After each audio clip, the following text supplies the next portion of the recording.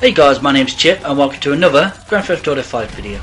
Now today's video I'm going to be going through the title update 1.11 patch notes just so you guys know what's been removed, um, what's new um, and just kind of give you an idea of an overall of, of what's changed in the game. So I'm going to go through the top changes. The link to this will be down in the description if you want to check it out yourself. Uh, top changes, new clothing items have been added to clothes stores. Uh, new, uh, new tattoos have been added to the tattoo parlours. Four new hairstyles, two male, two female have been added to all barbers and salons. New masks have been added to Vespucci movie masks. Two new tyre smoke colours are available from Los Santos Customs in online, green and purple. that sounds pretty cool.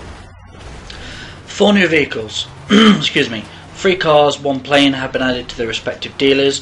The Grotti or Grotti Turismo R, the Dinka Jester, the Albany Alpha, and the Buckingham Vestra.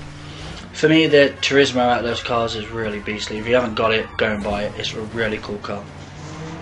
Two new weapons have been added ammunition, heavy pistol, special carbine. The special carbine, I really enjoy that gun, it's a lot of fun.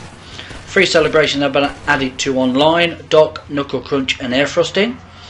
Players who are not the host of a job are now shown the viewed joined players info option while on the screen on the settings screen. This allows the player to access a list of players in the lobby, allowing muting or viewing profiles and stats.